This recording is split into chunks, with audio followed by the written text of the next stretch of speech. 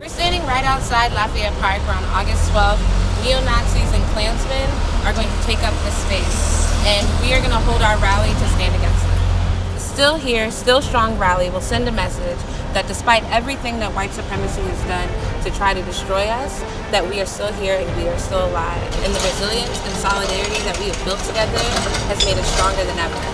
It's really important that we all come out because it's we have to make a stand and we have to make a show that we're not going to let white supremacy oppress us and continue to do this for generations and generations. Last year, I felt threatened as a trans person. I felt genuinely worried and afraid.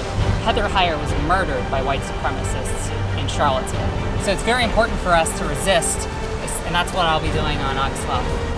As local organizers here in DC, we're having to raise the resources in order to resist within our own communities. So if you have the opportunity to invest $1, $5, $20